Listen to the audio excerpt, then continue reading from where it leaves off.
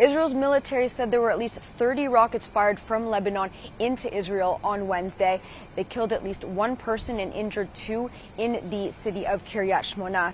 Hezbollah claimed responsibility for the attack and said that it was in retaliation for Israel's overnight strike into southern Lebanon. This was one of the deadliest attacks since the beginning of the war. There have been daily exchanges between Lebanon and Israel since October when the war began, and the international community has been scrambling to contain the situation and make sure that it doesn't escalate. At least 11 soldiers and 9 civilians on Israel's side have been killed, and 200 Hezbollah fighters and 40 civilians on the Lebanese side. Now, while this was one of the deadliest attacks, I spoke to International Crisis Group analyst David Wood on Wednesday and he said that it is unlikely to escalate further, that Hezbollah has had opportunity before to intensify the situation, and they haven't, and that they fired these rockets into an area where they knew that Israeli civilians had already evacuated. Also on Wednesday, there was continued attacks in Gaza. Airstrikes killed at least four people in the southern city of Rafah, and there are believed to be about 10 people still buried beneath the rubble.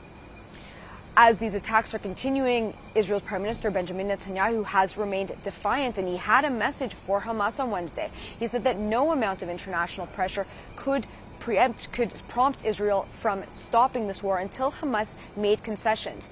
His remarks were largely seen as a way to try and smooth over the situation between Israel and the United States. Netanyahu was angry at the U.S. for not vetoing a United Nations security resolution for a ceasefire. But still on Wednesday, Netanyahu criticized the U.S. and said that its lack of veto had encouraged Hamas to think that international pressure could make Israel stop the war before it completed its war aims.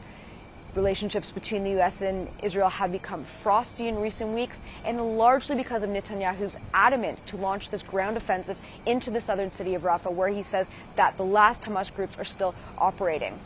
Netanyahu undermined the U.S. concerns on Wednesday, saying that the nearly one and a half million people there could just move. He said they could pick up their tents and just go north.